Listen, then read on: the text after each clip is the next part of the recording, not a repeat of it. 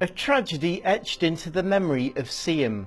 1962, a lifeboat, the George Elmy, headed out to sea on a rescue mission. All save one were lost. The George Elmy lifeboat now rests in Seaham Marina. But back in 2009, how did the lifeboat end up on eBay? November the 17th, 1962, Saturday, never to be forgotten sea.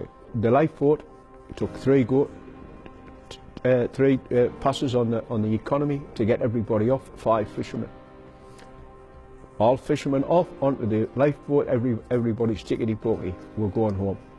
So on the way home, as they came up to the south pier and they were turning to come in to the pier, uh, two massive waves caught the boat. We saw the flares dropping.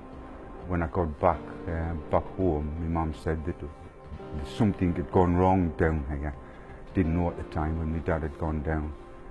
Um, and then there was everybody down looking for. At the end of the day, there was only the one, one lad that was saved. You know.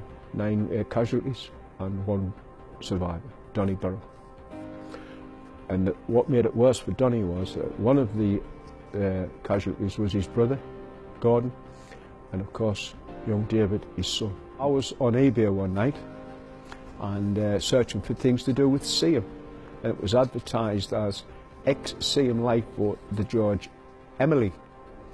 But I knew it wasn't the Emily, it was the Elmy. We uh, bought it off a guy who actually won the auction. We didn't win the auction, so we struck a, struck a price. He brought it up, and the rest is uh, history, as they say. But the story of the George Elmy now aims to be told to a much wider audience, thanks to a local filmmaker whose labour of love is a tribute to those who died. When I first read uh, Donny Burrell's uh, witness report, the coroner's report, I was completely inspired by the heroic deeds of the day and blown away by the, how what a tragic event it was as well. Getting to know the East Durham Heritage Group and uh, I was blown away by their story of how they found the boat, how they got it restored, how uh, their dedication to do this I think there's a quote um, in the film from Brian Salt who said people who come in just want to touch it. They just want to touch it. And that's what he does every morning when he comes in. He just touches the boat. And I can see what he means. And I think it's incredible how an inanimate, inanimate object like a boat can have such emotion attached to it.